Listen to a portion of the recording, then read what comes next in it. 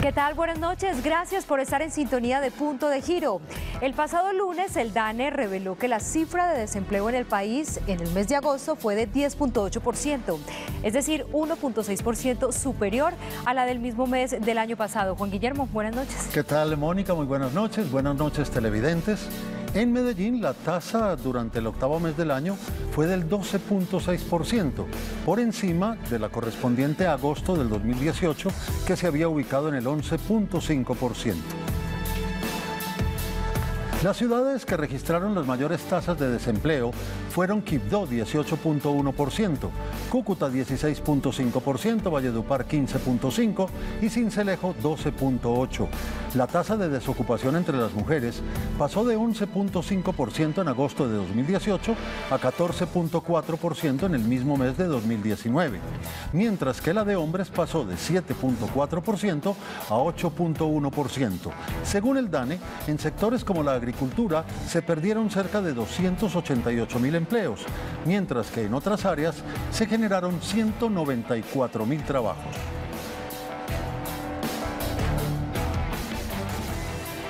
La Secretaría de Desarrollo Económico analizó qué está pasando con el empleo en la ciudad, la gran cantidad de posibilidades y oportunidades que genera Medellín en el país la han hecho atractiva para que muchas personas lleguen a buscar trabajo y eso sin duda tiene un impacto directo con la tasa de desempleo. Los sectores de la industria, el comercio y la construcción son los mayores generadores de empleo en Medellín. Es por ello que cada día la ciudad se hace más atractiva para personas de otras zonas de Colombia e incluso de otros países, lo que impacta directamente la tasa de desempleo cómo esta ciudad se ha convertido en una ciudad atractiva para quienes quieren emplearse, porque tenemos unas condiciones eh, sociales y económicas que, que permiten eh, tener empleos de mejor calidad.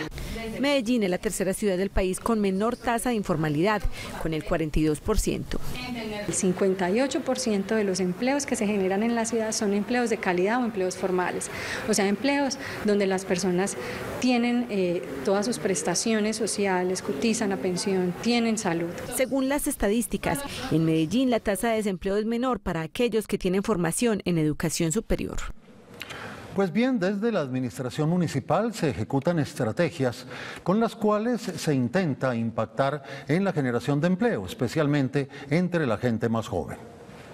Estrategias como Buscando Talento, la Feria del Primer Empleo, El Talento Trabaja y las convocatorias de la Oficina Pública de Empleo han posibilitado que 4.282 jóvenes de Medellín reciban formación para el empleo y de ellos 1.344 se hayan vinculado al sector empresarial. Pues nosotros somos un puente pero los empresarios y el sector productivo están muy comprometidos en seguir generando oportunidades para los jóvenes. En la ciudad es prioridad desde 2016 que la población joven que recién egresa de la universidad acceda a su primer empleo.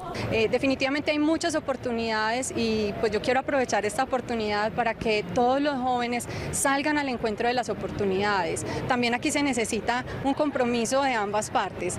La principal dificultad, sin embargo, para esta población sigue siendo acreditar experiencias de meses e incluso años de trabajo. Yo me he puesto a buscar y todos jóvenes con experiencia de seis meses, de nueve meses, un año, entonces uno no tiene la posibilidad de que pueda trabajar. Los perfiles más demandados en la actualidad en Medellín son los relacionados con Big Data, inteligencia artificial, Internet de las Cosas, programación y demás tecnologías de la información y la comunicación. En tres años y ocho meses de gobierno, el programa Buscando Talento ha beneficiado en total a 240 mil ciudadanos. Para que ustedes se hagan una idea, esa cifra equivale cerca de seis veces el aforo total del Estadio Atanasio Girardot. En el programa que llega a las comunas y corregimientos de Medellín con mayor tasa de desempleo y menor densidad empresarial, la administración local ha destinado 134 mil millones de pesos.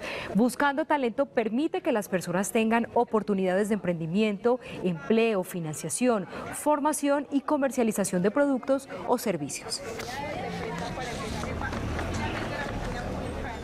Muy bien, y mientras por un lado se buscan los talentos, luego a través de un importante programa, Formando Talentos, lo que se busca es capacitar a jóvenes y adultos de la ciudad de Medellín en habilidades para el empleo.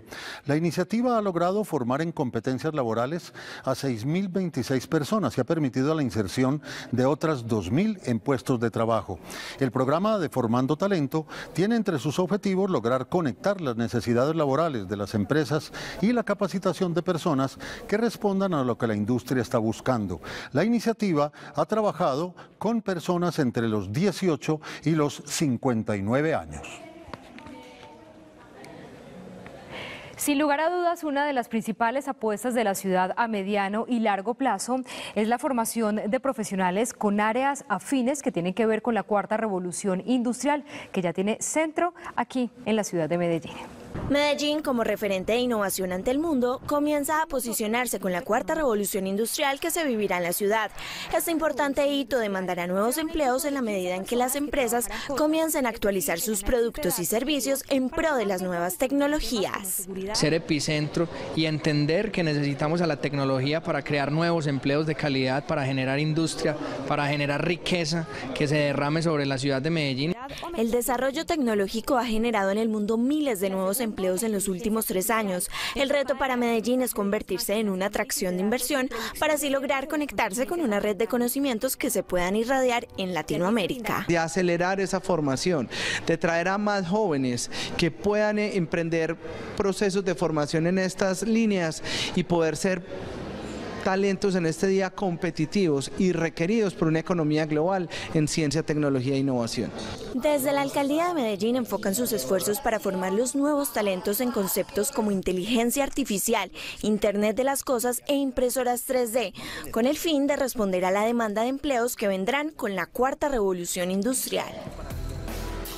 Definitivamente la generación de empleo es uno de los temas que más le preocupa a cualquier sociedad en el mundo. Sin embargo, crear puestos de trabajo depende en buena parte de situaciones que no siempre pueden controlar los gobiernos. Juan Guillermo, en Medellín, tanto el sector público como el privado y el educativo han hecho una llave para lograr generar empleo de calidad y evitar que el número de desocupados aumente. De eso queremos hablarles hoy en Punto de Giro. Quédense, que ya venimos con invitados de primer nivel. Bienvenidos.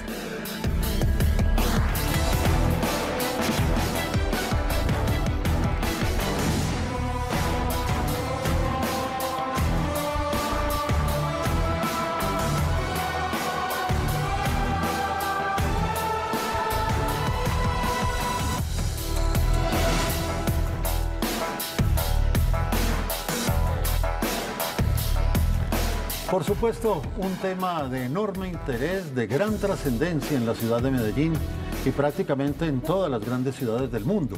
Hoy el tema del el empleo. Pues bien, vamos a hablar justamente de qué sucede con el empleo en la ciudad a raíz de las últimas cifras que se han conocido. Y vamos a analizar el tema desde muchos ámbitos, desde muchos puntos de vista.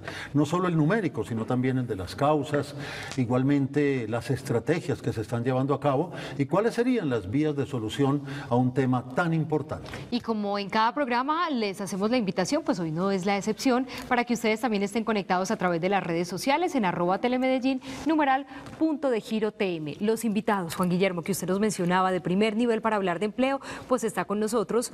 Paula Andrea Zapata Galeano es la secretaria de Desarrollo Económico de Medellín. Bienvenida, secretaria, gracias por estar aquí. Muchas gracias de nuevo por la invitación, encantada de estar acá con ustedes. Hoy. Y para seguir entendiendo qué es lo que sucede con el empleo en la ciudad, pero también desde una dinámica global, internacional, nacional y empezar a aterrizar todos esos datos y cifras, pues está Hernán Darío Aguilar Garcés, es decano de la Facultad de Economía de la Universidad Autónoma Latinoamericana. Bienvenido. Buenas noches, bienvenido. Eh, muchas gracias por invitarme al programa. Es la primera vez que estoy por acá. Qué bueno. Eh, muy satisfecho. Eso nos, nos alegra mucho que esté por aquí con nosotros para que nos pueda orientar también. Sin duda alguna, porque es un tema que, hay que entender. Más allá de las cifras, reiteramos, es muy importante conocer lo que hay detrás de cada una de ellas. Pero yo quiero comenzar, secretaria, con el tema que justamente pues, ha dado origen a este programa. Y es que el DANE, como bien lo planteábamos en el comienzo del programa, entregó unas cifras que de alguna manera significan un aumento del desempleo todo el territorio nacional. Pero hablemos específicamente de Medellín y su realidad. Bueno, como bien lo mencionas, eh, recibimos el reporte esta semana del trimestre móvil para Medellín y el Valle de Aburrá. Esa es una medición que se hace, como menciono, para el área metropolitana, es trimestre móvil a agosto. Eh, reportaron una tasa del 12.6%, que sí representa un incremento frente al mismo trimestre móvil del año pasado y que definitivamente, pues sí, la idea es que aquí conversemos un poco qué hay detrás de, esta cifra y, qué retos también tenemos como ciudad a la hora de hablar de, empleo y de las posibilidades de empleabilidad que tienen muchas personas en la ciudad. Pero de alguna manera mm, es la tendencia nacional, no, no es eh, un caso excepcional. Sí, no es un caso excepcional y de hecho, eh, y ahorita le voy a pedir a nuestro experto que también me complemente, tenemos que referirnos también a un contexto mundial, a cómo está moviéndose la economía del mundo, cómo está teniendo esas dinámicas las principales economías, las economías avanzadas, las economías en desarrollo, y cómo ese crecimiento que no es, que está... Eh, más lento de lo que veníamos acostumbrados a tener en el mundo, también impacta definitivamente el contexto regional el contexto nacional y obviamente el contexto local. Está determinada esa cifra sin duda por lo que pasa en el mundo. Decano, 12.6% de desempleo en Medellín según esa última cifra. ¿Qué es lo que ocurre? Usted nos puede empezar a contextualizar desde lo internacional. ¿Qué es lo que pasa en términos de empleo? Bueno, eh, empecemos por, por plantear que más o menos las estadísticas dicen que hay alrededor de unos 7 mil millones de personas en el mundo de esas 7 mil millones de personas, hay 5.300 millones de personas que están en capacidad de trabajar, o sea, aquellas personas que son mayores de 10 años en el sector rural y de 12 años en el sector urbano. Y de esas 5.300 millones de personas, eh, más o menos el 4.5% están desempleadas. Esa sería la tasa de desempleo a nivel mundial. Si comparamos entonces la tasa de desempleo a nivel mundial con la tasa de desempleo de Colombia, que ustedes mencionaban, del 10.8%, implica que hay un problema mucho más grave, mucho más estructural en el sistema nuestro que a nivel mundial. A pesar de que, como les digo, hay desempleo, que es una lógica dentro de la relación laboral eh, la tasa de desempleo para nosotros sí está bastante alta. Si hablamos del nivel entonces de empleo nacional, si lo asumimos como el desempleo en Medellín o en Antioquia, eh, estando por encima de esa tasa, pues todavía mucho más grave. Pero lo escuchaba también cuando estaban haciendo la presentación que mencionaban que una de las razones por las cuales hay ese, ese desempleo es porque como Medellín tiene tantas posibilidades y opciones de empleo, la gente se viene de diferentes regiones a tratar de, ubicarse en esa, en esa ciudad. Y eso entonces, a pesar de que Medellín genera mucha inversión social, eso hace también que no alcance y nunca va a alcanzar eh, la inversión social, por más que se quiera, cuando hay un problema a nivel nacional que se está todo desplazando hacia Medellín. Claro. Mm, secretaria, eh, estábamos hablando de esas cifras de un trimestre móvil y estábamos hablando de área metropolitana.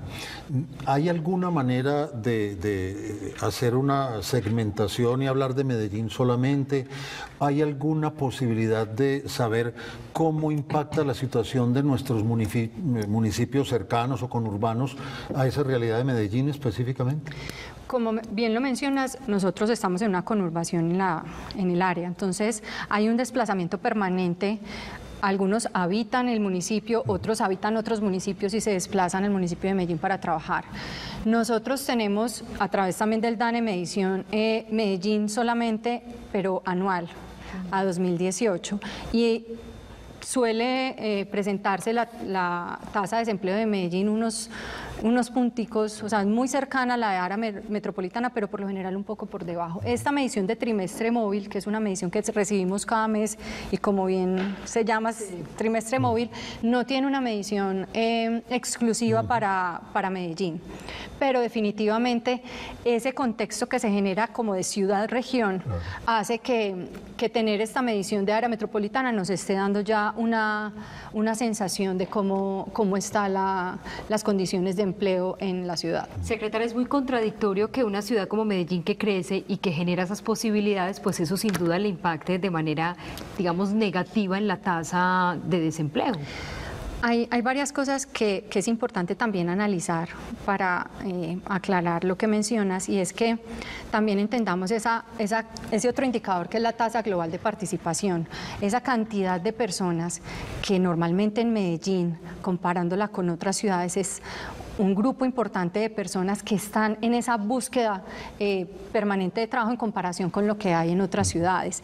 ¿Cuál es? Y eso, y eso qué hace también que al tener una tasa global de participación que es importante, que es en este trimestre móvil fue de 64.5, eh, y que tengamos una, tasa de informalidad también baja, es decir, que un, porcentaje, que un porcentaje de los empleos que tenemos en la ciudad informales es solamente del 41.2%, hace que sea muy atractiva la ciudad, porque tenemos un alto porcentaje de empleos formales, empleos que están en condiciones y que generan de verdad condiciones y calidad de vida para las personas.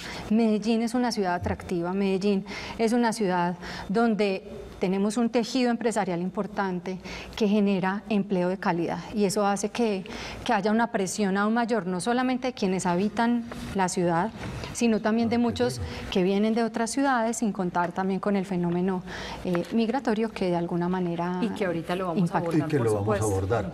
Mm, Decano Aguiar, eh, ¿Qué es lo que pasa entonces estructuralmente ya con la economía, no necesariamente con el empleo eh, en estos países? Porque incluso estamos viendo que recientemente prácticamente todos han bajado su expectativa de crecimiento y, no, no, no despega realmente una economía bollante. Bueno, nosotros tenemos aquí varios referentes. Si usted recuerda, por, la época de los 80, de 1980 y antes, eh, Medellín era una ciudad industrial y se conocía por su desarrollo industrial.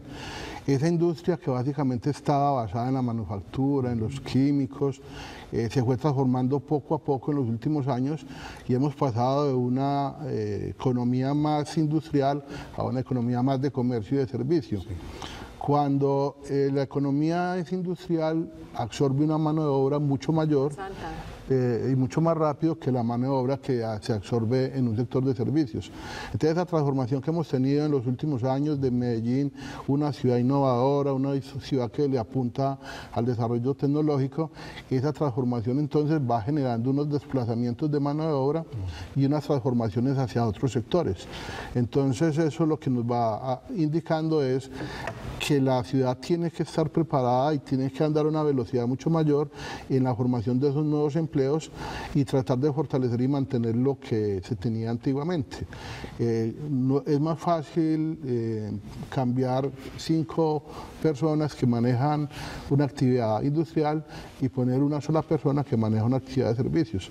Entonces, en esa transformación que hoy es donde cuando se ven cuáles son los sectores donde se está generando el empleo, básicamente es todo el sector de servicios, el hotelero, el turístico, que es donde se está concentrando esa mayor generación de empleo. Y donde se está desapareciendo el empleo, como usted lo mencionaba ahorita, está en el sector agroindustrial, está en el sector del campo, está en el sector de las manufacturas y en el sector, aunque la construcción hace parte del PIB, es muy poquito lo que le aporta a ese ah, PIB, aunque genera mucho empleo. Decano, incluso lo decía la secretaria al comienzo, que esto tiene una incidencia que no es resultado solamente de Medellín, sino que viene desde, desde lo global, como le he insistido. Me parece importante que nos regresemos a mirar a través del mundo. Incluso ahora lo conversábamos antes del programa, esa relación, esa lucha y esa pelea, por llamarlo de alguna forma, entre Estados Unidos y China. Eso, eh, digamos, ¿qué resultado eh, puede generar en términos de empleo y sin duda cómo a nosotros de alguna manera nos impacta si es que lo hace? Sí, no, totalmente nos impacta porque esa discusión en términos de la relación comercial que hay entre China y Estados Unidos en la generación de nuevos desarrollos tecnológicos de cierta forma nos impactan y altamente. Eh, por ejemplo, en el sector manufacturero, en el caso nuestro, que hemos tenido un desarrollo textilero muy alto. Ya ahora, por más esfuerzos que se hagan en nuestras industrias, eh, es más fácil tener un producto traído de la China. Entonces sale más barato traer un producto de la China, una tela de la China, que hacerla Aquí, acá en que Medellín. producirla. Y entonces eso eh, está relacionado porque la China tiene unos procesos productivos que eh, de cierta forma impactan también la economía norteamericana. Claro, eso se traduce en una, en una palabra, eh, secretaria, que es competitividad. Y hemos perdido competitividad por muchas razones, unas macroeconómicas, unas microeconómicas, pero eh, que no vamos pues a, a conversar aquí. Pero lo que sí es muy importante es que entonces, ¿qué hacemos en una economía como la nuestra en Medellín? para recuperar esos caminos de competitividad, porque de lo contrario seguiremos perdiendo empleos. Yo creo que aquí también es importante y voy a retomar esa transición que está teniendo nuestra economía y que viene teniendo hace ya un tiempo, podemos hablar incluso de más de una, de, de una década. Nosotros como economía estamos transformándonos en lo que llamamos en muchos escenarios hacia una economía basada en el conocimiento, donde consideramos la ciencia, la tecnología y la innovación como una palanca. E incluso es esa la visión que tenemos desde una política pública de desarrollo económico que está establecida hoy para la ciudad. Al tener una economía que está basada en el conocimiento, estamos hablando de una economía donde también nuestro tejido empresarial se viene especializando. Entonces estamos hablando de cómo tiene que empezar a hacer esa transición y ya está pasando en muchas industrias, en muchos procesos productivos para poder ser más competitivos y cómo adoptamos tecnología cómo hacemos esa transición para ser cada vez más especializados. Pero eso también nos lleva a la conversación frente a la cualificación del talento en la ciudad.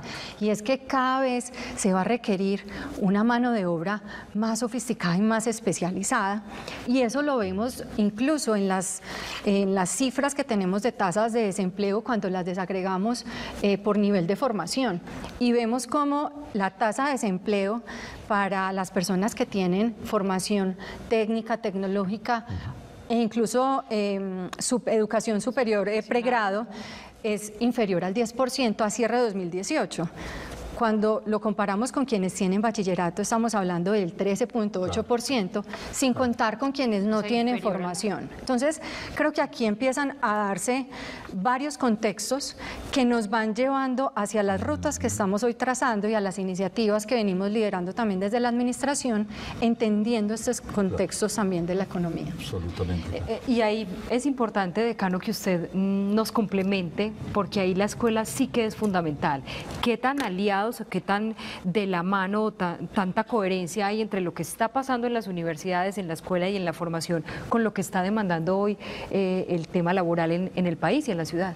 Bueno, eso es un tema bastante complicado y complejo porque digamos que las universidades tienen un proceso de formación que va más allá de las necesidades mismas que la industria tiene en su momento.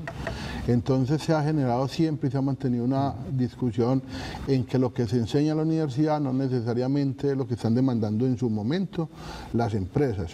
Y eso entonces apunta que tenemos que tener ese acercamiento que usted plantea en términos de que debe haber una integración tanto de la universidad como de la empresa. Y eh, por ejemplo Medellín lo viene haciendo a través de la Universidad Empresa-Estado, en donde se, se confluyen a, a esas relaciones. Pero con respecto a lo que ella decía también ahorita al principio, de lo- eh, en términos de ese desarrollo, miren por ejemplo que Medellín tiene en su estructura de construcción del PIB el 43.6% lo hace la manufactura, el 39.6% lo hace el comercio y eh, solamente el 7% lo están haciendo otras actividades. Y entonces cuando hablamos de esos desarrollos que se plantean, los nuevos empleos que se están generando están orientados al Big Data, a la eh, economía eh, naranja, que está ahora de moda, a las nuevas economías alternativas. Y eso entonces implica que también tiene que haber una transformación del estudiante, de las instituciones y de las empresas. Porque también tenemos otro problema que no sé si usted lo ha evidenciado, y es, por ejemplo, para poder tener esa competitividad que usted pla- plantea, eh, estamos necesitando ingenieros bilingües, eh, profesionales bilingües, eh, profesionales que manejen herramientas tecnológicas. Pero esas herramientas tecnológicas y ese bilingüismo tardan un tiempo. Aunque Medellín tiene un buen programa orientado a esa parte, todavía tenemos tasas de, de bilingüismo muy bajas y tasas de competitividad muy bajas. Entonces, en esas condiciones, para ser competitivos, todavía nos falta un, gran trecho. Habría que plantear entonces unas opciones, como se mencionaba ahorita, unos trabajos que se generen en el mediano plazo y en el largo plazo basados en la tecnología, pero hay que mantener y estructurar lo que se ha tenido siempre, porque no se puede descuidar ese sector. ¿Y qué hacemos entonces con ese grupo poblacional donde las nuevas tecnologías y Sobre todo, porque las transiciones, pues ya bien lo dice el decano, son lentas y, van a pasar unos años justamente en que estemos en esa situación. ¿Qué hacer? Bueno, hay yo quisiera hablar también de varias iniciativas y, de una invitación también importante que hay que hacerle al ciudadano. Entonces, venimos trabajando y, de ahí esa apuesta decidida pues, del alcalde Federico y de todo el equipo que lo acompañamos por la educación superior. Entonces, esta administración está entregando cerca de 40 mil becas en educación superior, técnicas laborales, técnicas, tecnologías, em, además de becas en pregrado, para que tengamos una mejor cualificación, para que las personas puedan acceder a esas herramientas que les van a permitir acceder más fácil al mercado laboral. Ahora, que es muy importante, esta formación tiene además pertinencia. Estamos orientando todos estos programas y estas herramientas a aquellas aquellas profesiones que hoy están demandando eh, los empresarios, el sector productivo en la ciudad, y es muy importante. Entonces, esa es una, una apuesta del hoy para poder acompañar esa transición. Y definitivamente hay que trabajar también en cómo sembramos desde buen comienzo, desde la educación básica, todo el enfoque y todo el esfuerzo por trabajar en STEM más H, porque definitivamente necesitamos empezar a sembrar esa semilla, esa inquietud en nuestros niños y en nuestros jóvenes para que más adelante puedan tener las bases y las herramientas para poder elegir profesiones que exigen unas unas, pues que ah. si quieren ser desarrolladores de software, si quieren acceder a profesiones que incluso hoy no conocemos. la cuarta revolución industrial y toda esta transición nos trae cada vez cosas que, que nos sorprenden, pero sí necesitamos unas herramientas y que tengamos niños que amen la matemática, que amen la ciencia, que amen la ingeniería. Secretaria, eh, ahorita que regresemos de comerciales, porque ya vamos a hacer la pausa, vamos a desarrollar ahí un poquito más a fondo programas como Buscando Talento y Formando Talento pero también para que la vayan pensando mientras estamos en comerciales, ¿qué hacemos con el ciudadano de edad mayor que no tiene una profesión, que necesita un empleo, que lo requiere? ¿Qué le podemos decir? ¿Cómo lo orientamos? Eso vamos a hablar al regreso en nuestro programa de hoy en Punto de Giro. ¿Qué sucede con el empleo en Medellín? Quédese con nosotros, ya regresamos.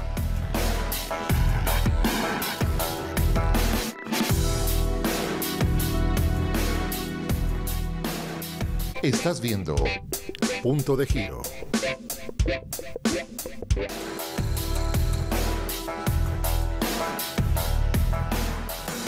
Continuamos en Punto de Giro, programa de análisis, programa de opinión de Telemedellín. Hoy en el análisis a fondo de qué sucede con el empleo en Medellín, un tema de enorme trascendencia y de enorme importancia. Y están con nosotros Paula Andrea Zapata Galeano, ella es la secretaria de Desarrollo Económico de Medellín, y está Hernán Darío Aguiar Garcés, quien es el decano de la Facultad de Economía de la Universidad Autónoma Latinoamericana.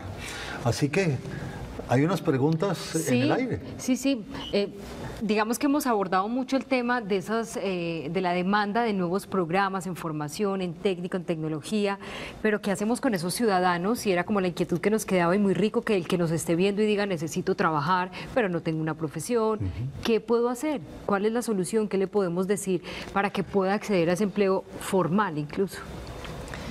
Bueno, hay algo muy importante y es que buena parte de esa oferta educativa que, está que se está generando en la ciudad para, muchos ciudadanos no tiene una, limitación, no tiene, no tiene una restricción en la edad. Digamos que parte, parte de esa oferta está abierta a, todos los ciudadanos indistintamente.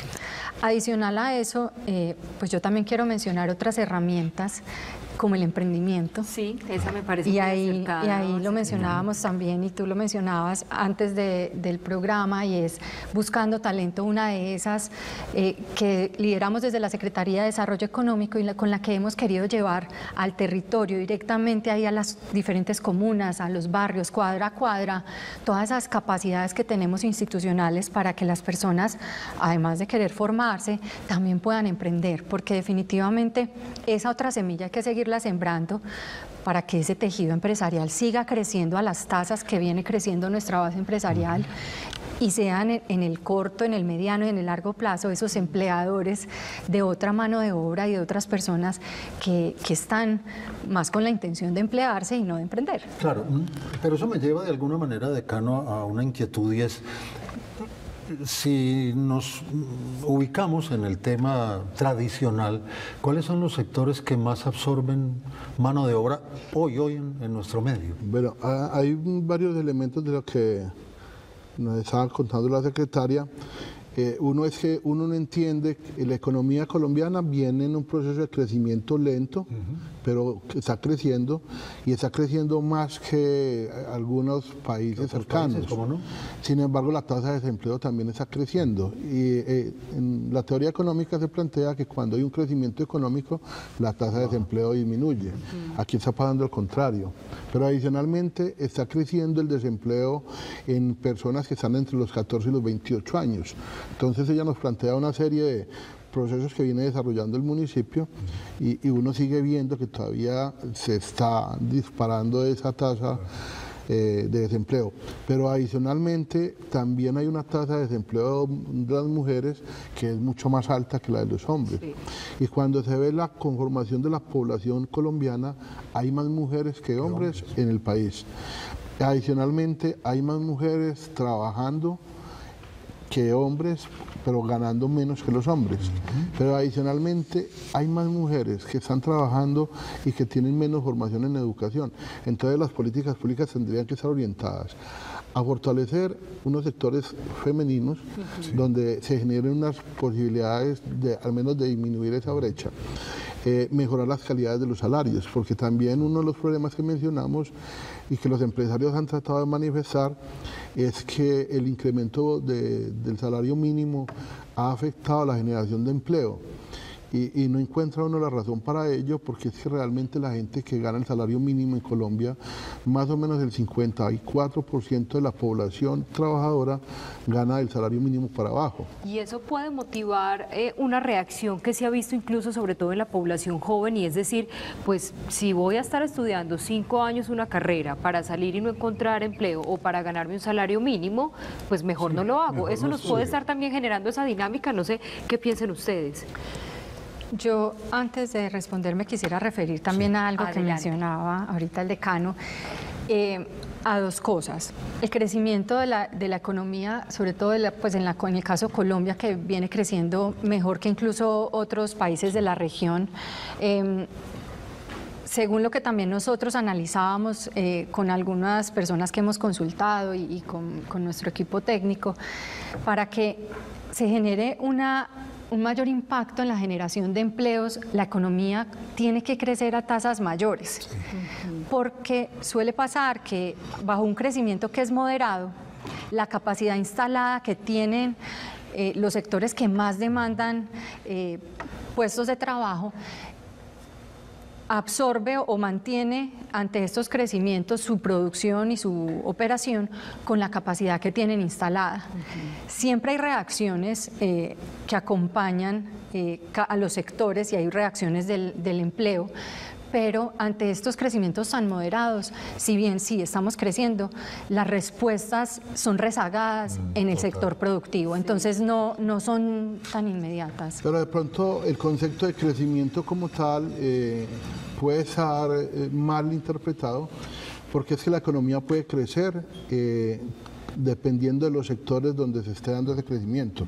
El caso nuestro, el caso colombiano, nosotros tenemos un crecimiento basado eh, en materias primas, basados, por ejemplo, en la parte que es extractiva, y entonces, por ejemplo, el incremento del precio del petróleo Así no haya más aumento en la producción de petróleo, genera crecimiento económico. Y la demanda de mano de obra en el sector petrolero es, muy, poca. Por lo tanto, puede haber un crecimiento económico, inclusive, como ella lo plantea, por unos niveles altos. Sin embargo, eso no va a garantizar la generación de empleo. Lo que sí hay que pensar es en la productividad. Y la productividad sí tiene que estar relacionada con otros sectores y con la formación y con la educación. La base fundamental para que una economía se desarrolle tiene que ser la educación. Sin duda. Y, eso, y eso lleva a una, una consideración que, de alguna manera tiene que ver con lo que se estaba conversando, y es que en la medida en que sea una economía que no agrega valor, realmente el crecimiento en los puestos de trabajo es muy poquito. y, y eso pues con mayor razón nos debe enfocar, y ahí enlazo con lo que decía eh, secretaria hace un ratico, es que si nosotros no nos metemos a esas nuevas economías, esas nuevas formas de ciencia, tecnología e innovación, pues nos vamos a quedar eso, con una economía muy primaria mm, que definitivamente nunca va a generar esas tasas de, primero de crecimiento y luego de absorción de empleo. Así es. Eh, hay algo importante también para destacar y es que en la medida en que nosotros vamos especializando también a nuestros ciudadanos y les vamos dando más herramientas, también vamos a ser más competitivas a nuestras empresas. Y hay, hay un reto importante también ahí para crecer más en productividad y ser y, e incrementar nuestra producción nacional y es la posibilidad que tenemos también de acompañar y de hacer empresarios mejor preparados o acompañar a los empresarios para que estén más preparados para llegar a mercados internacionales.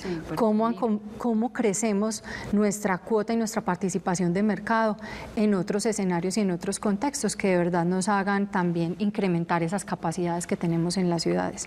nos quedó pendiente el tema que les decía, de aquella población joven que tal vez ve esa reacción de, bueno, vale la pena o no estudiar y capacitarme, porque si es la apuesta de Medellín de la ciudad, y usted lo decía, la educación es el soporte es la clave. Pero ese fenómeno se presenta. Sí.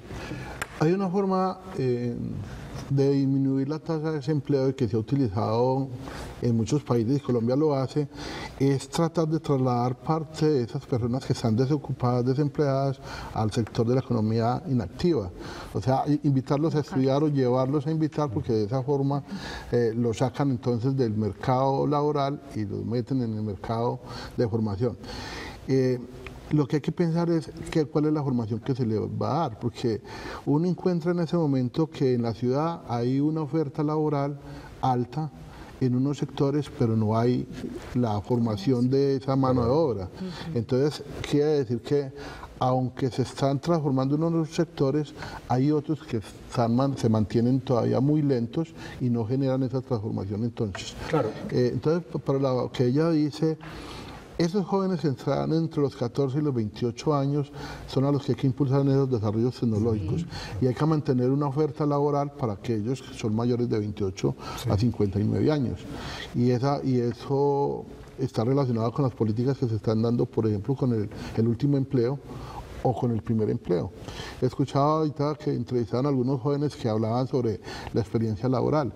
Y esa es otra también donde la empresa tiene que vincularse con las universidades para poder entonces darle a los estudiantes esas oportunidades de generar una práctica y generar ese conocimiento que muchas veces ellos dicen que no lo tienen. Para que puedan cumplir con ese periodo que les piden y les exigen. ¿no? Que necesita experiencia, bueno, pero porque no me la da, porque si no es muy complicado.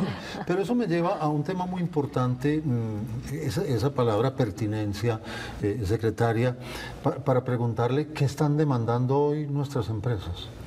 Bueno, Hemos, a través de la estrategia de atracción de inversión que tenemos en la ciudad, hemos recibido eh, empresas importantes del mundo que quieren llegar a la ciudad aprovechar eh, pues el contexto que tenemos.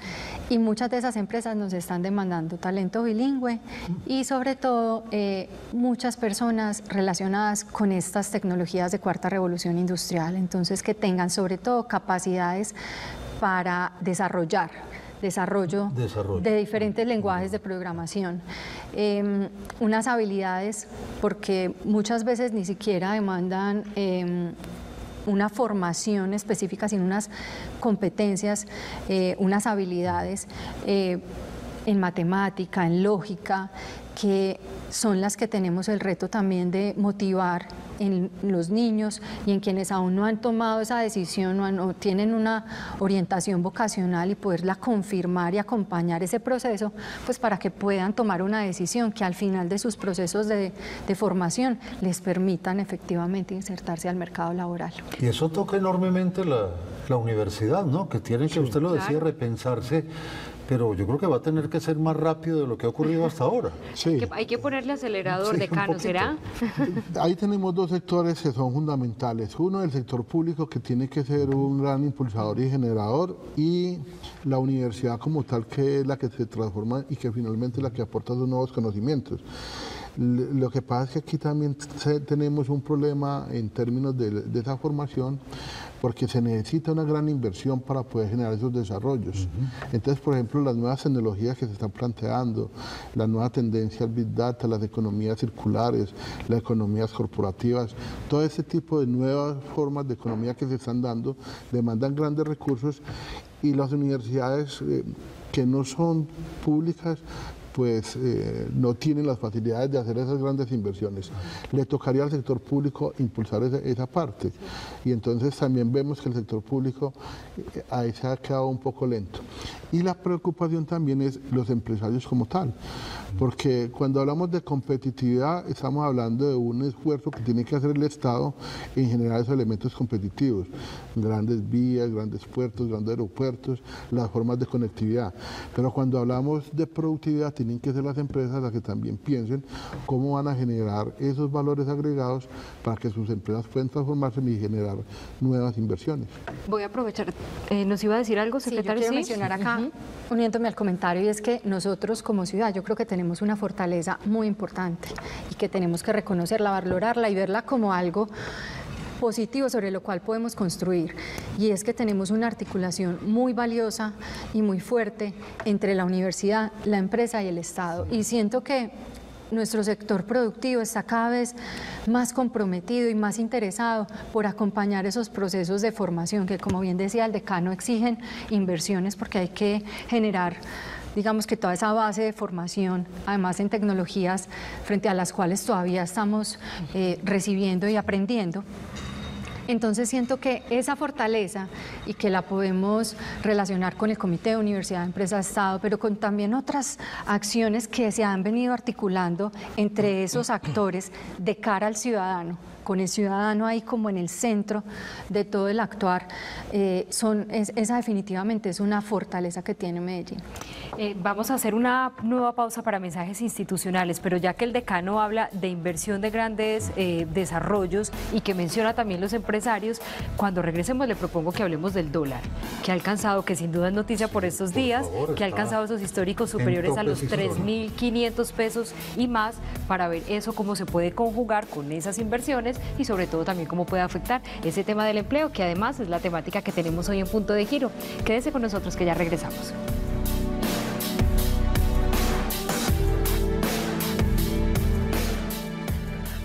Estás viendo Punto de Giro.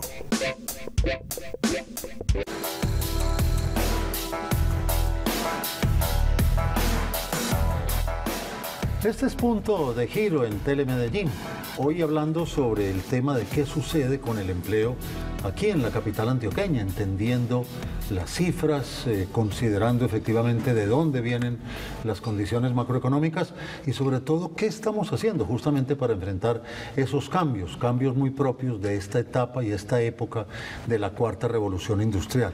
Y yo quiero comenzar por ahí esta parte final del programa, eh, secretaria, porque digamos Medellín eh, se está enfocando desde hace mucho rato en ese tema y hoy es sede de un centro para el desarrollo de esa cuarta revolución industrial para América Latina.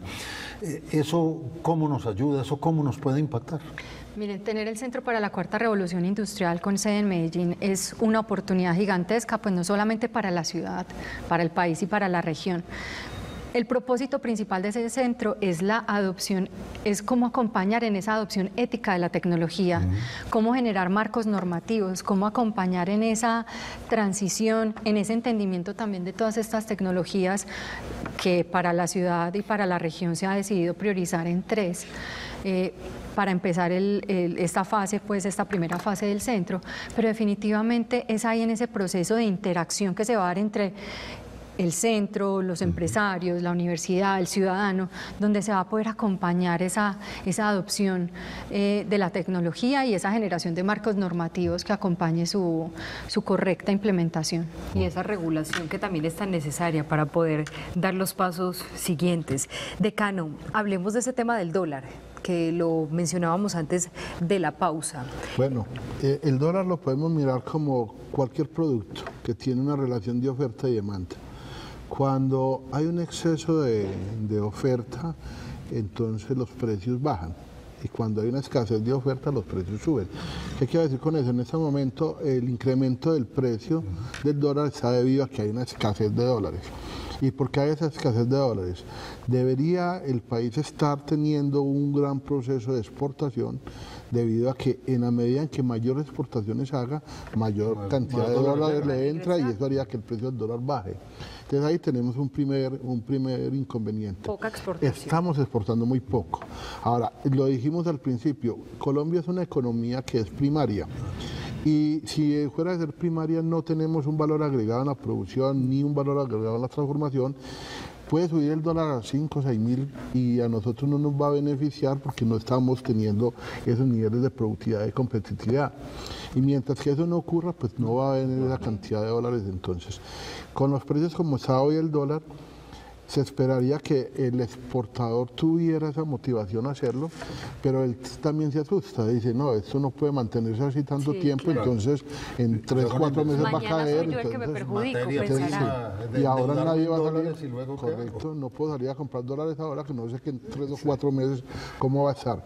Y esa pausa entonces, como no tenemos un producto que tenga un valor agregado alto, no va a generar esa motivación al empresario para que se, se dispare la exportación en el país. Esa volatilidad sin duda frena también ahí al empresario a tomar decisiones que nos van a ir generando mayor empleo, pero los Hay una preguntita que me quedó faltando por ahí de la parte estructural porque quiero entrar luego con la secretaria de hablar de algunos programas que se realizan hoy en Medellín pero, pero me quedó faltando, que es el tema de la migración venezolana en nuestro medio. ¿Qué tanto eh, puede significar una afectación a todas estas cifras de las que estamos hablando a nivel país incluso? Hay muchos expertos que plantean que el proceso migratorio puede ser beneficioso para la economía colombiana. Y de hecho genera un beneficio si lo miramos de diferentes factores. Mire, uno por ejemplo, no todos los venezolanos que están llegando son pobres, también hay una cantidad de venezolanos que se han venido con sus inversiones al país y eso entonces permite que haya una generación de nuevas inversiones. Pero adicionalmente los, todos los venezolanos malos colombianos que se habían venido también consumen. Y al consumir también aumentan entonces la demanda de productos y eso hace que el Producto Interno Bruto crezca. Entonces no necesariamente el hecho del proceso de migración va a generar, va a generar entonces una pérdida de los empleos. Ahora, lo que sí hay que tener en cuenta también es que muchos de los venezolanos que llegan tienen mejor formación académica que muchos de los que tenemos acá. Entonces, cuando llegan a unas ciudades como la nuestra, hay dos impactos. Uno, el empresario, si no existe una regulación, como usted decía ahora, que evite que se vaya a abusar de esos profesionales por la informalidad, eh, hay una forma de control. Pero adicionalmente, esos profesionales que llegan con una mayor formación o esos venezolanos que traen una mayor formación, también nos generan una forma de generar un mayor valor agregado a los productos. Muy claro y muy explicado. Sí, muy claro, secretaria. ¿Y qué podemos complementar al respecto con ese tema de venezolanos? Porque también el comentario en la calle es, es que nos están dejando de dar trabajo por darle a los venezolanos. Yo, yo estoy de acuerdo en la posición que tiene el decano y me uno a otro para darle una mirada positiva. Y creo que nuestro país y nuestra ciudad ha sido generoso y, así, y ha tenido una receptividad frente a, a, los migrantes, entendiendo el contexto también en el que se encuentran. Creo que, bueno, la, en el país hay más de, hay cerca, dicen pues las cifras que tenemos de, reportadas de cerca de un millón y medio de venezolanos ya en el país, eh, de los cuales un porcentaje importante están en Antioquia, en Medellín. Más de 70 mil. En Medellín, Medellín hablamos de 75 mil sí aproximadamente la mayoría en edad de trabajar. Sí, eh, claro. Entonces es muy probable que sí estén generando una, una presión sí. en la tasa, pero también hay que reconocer que muchos tienen cualificación, uh -huh. que no se tuvo que generar una inversión para esa formación de parte del Estado, de parte del sector privado. Son personas que llegan también a contribuir y aportar de alguna manera a nuestros procesos económicos. Entonces creo que hay que también darle, eh, digamos que una mirada positiva. Muy interesante esa mirada, ¿no? Porque es una mirada distinta. Pues, la función del Estado ahí tendría que estar más enfocada a tratar de evitar que se genere un mayor incremento en la En la informalidad. informalidad, exactamente. Y a tratar de que esas personas lleguen a unos procesos formales y ahí generen nuevas posibilidades de ingresos y nuevas posibilidades de fuentes de empleo. Muy bien. Secretaria, entonces ahora sí yo quiero que hagamos un, un pequeño arqueo aquí porque hemos hablado de intermediación laboral, hablamos de formación para el trabajo, hablamos igualmente de la cuarta revolución industrial, de formando talento, de buscando talento, pero hay otros programas muy interesantes, ¿no? Por ejemplo, la- la- nosotros tenemos la Oficina Pública de Empleo que es interesante y un tema muy lindo con mujeres. Contemos un poquito de nuestra parte final. Sí, para terminar, pues quiero hacerle una invitación a todos los empresarios. La Oficina Pública de Empleo eh, presta un servicio gratuito donde acompañamos a los ciudadanos para que se registren, para que nos compartan sus perfiles, ¿Dónde sus lo pueden intereses, lo pueden hacer. En, tenemos eh, Oficina Pública de Empleo en las diferentes comunas, en todos los espacios donde tenemos también un sede eso. En Belén tenemos una sede eh, más grande. Eh, pueden acceder ahí, pueden ahí registrar sus hojas de vida, pero asimismo los empresarios pueden acercarse a nosotros. Nosotros también hacemos esas visitas a empresarios para presentarles esa oferta donde queremos encontrar oferta y demanda de Cruzar. empleo, cruzar conecten, para ¿no? que se conecten. Y cierro mencionando también un programa muy bonito porque mencionábamos ahora que tenemos también unos grupos profesionales, principalmente a las mujeres, a quienes queremos también acompañar, quienes han tenido mujeres que están entre los 30, más de 30, 55 años, que no han tenido de pronto acceso a educación.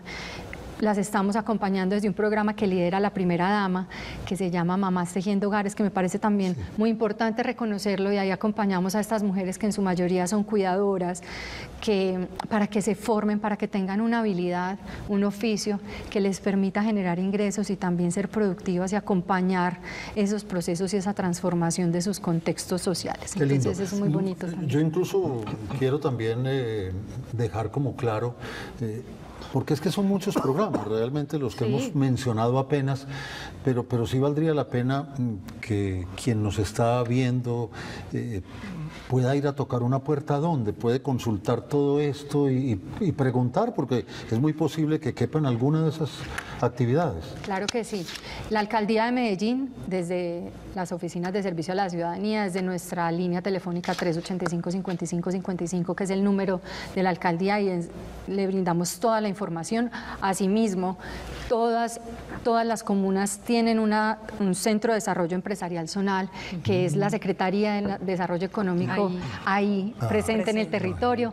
Ahí nuestros equipos también están dispuestos a brindarles toda la información, toda la oferta de emprendimiento, de formación, de empleabilidad también para que puedan encontrar quienes están buscando trabajo. Entonces, ahí, opción. ahí estamos presentes en todo el territorio. Decano, para despedirnos rápidamente, el mensaje también a esa población joven para que se siga vinculando a la universidad y aprovechando ese espacio de educación que es el motor de poder generar empleo. Sí, yo pienso que primero que todo hay que motivar a los jóvenes, eh, sobre todo en las circunstancias que estamos de desempleo, a que busquen opciones para poder ayudarse, pero que no pueden olvidar y dejar que en el largo plazo la formación profesional es fundamental y que estos procesos se vuelven transitorios. Estamos hablando de que están demandando 40 mil jóvenes con una formación en los próximos dos, tres años, pero va a llegar entonces entre tres, cuatro, cinco años que ya estén formados y eso va a presionar entonces a que los salarios caigan. Y ya después de los procesos formativos es más complicado que esos muchachos accedan a la universidad. Por eso hay que pensarlo eh, en una forma escalonada, de tal forma que el estudiante ahora que tiene bajos recursos pueda hacerse una formación técnica, Claro. pero sin dejar de largo que tiene todas las opciones y las posibilidades para la formación profesional. Pues lo más importante, yo creo que la gran conclusión es que hay que formarse, Sí. porque definitivamente la calificación del empleo, pues es- lo estamos viendo, será cada vez eh, más fuerte, más estrecha y quien no esté preparado, francamente, va a ser muy difícil que sea competitivo en un mundo como el que estamos planteando. Sin duda, me quedan claro varios mensajes. Eh, para los jóvenes, todo lo que tenga que ver con desarrollos tecnológicos, para las personas mayores, la invitación es al emprendimiento, a sacar adelante esos proyectos productivos que tienen ahí incluso en su comunidad y que pueden generar más empleo. Y esa frase de la secretaria de Adopción con Ética de la Tecnología me parece También. fundamental para Y desarrollar. una última conclusión, y es que la ciudad con muy buen tiempo y con una enorme visión, le apuntó desde hace ya muchísimo rato a este camino, así que ya tenemos un recorrido y lo que sigue ahora es desarrollarlo a mayor velocidad y que cada ciudadano adicionalmente no espere que sea el Estado, la universidad la, de, la iniciativa. También uno individualmente tiene que empezar a buscar los caminos para que efectivamente estemos a la altura del reto de nuestros tiempos. Y Medellín siempre un pasito adelante, Juan Guillermo, sin duda. Muchísimas gracias a ustedes por estar con nosotros esta noche. Sí, Hernán Darío Aguiar Garcés, el decano, gracias por acompañarnos de la Facultad de Economía de la Universidad Autónoma Latinoamericana y a la Secretaria de Desarrollo Económico, Paula Andrea Zapata. Siempre es un gusto. Gracias por haber estado en Punto de Giro. Nos vemos la próxima semana, Juan, y en otro espacio de Punto de Giro. Ustedes gracias por habernos acompañado. Que tengan una feliz noche.